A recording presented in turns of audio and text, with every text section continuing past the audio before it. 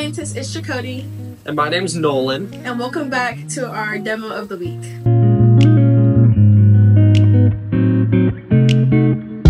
Today we are going to be boiling water at room temperature. Now normally you think of boiling water at 100 degrees Celsius. However, if you decrease the pressure surrounding the water, you can make it boil at a much lower temperature. I think we should show them, Nolan. I think that's a great idea. Right. So here we have a beaker of room temperature water and we have it placed in a vacuum sealed container and it's attached to a vacuum pump. Now when we turn on this vacuum, it's going to suck out all of the air and all of the pressure from this container, which will cause the water to boil pretty quickly.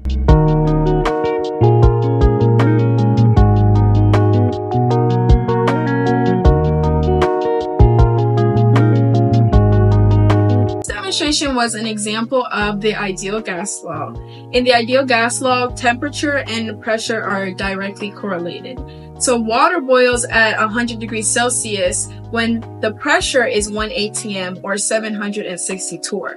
By decreasing the pressure significantly, we can have water boil at 25 degrees Celsius. Hope you guys enjoyed this demonstration and we'll be back next week to give you a new one. Bye!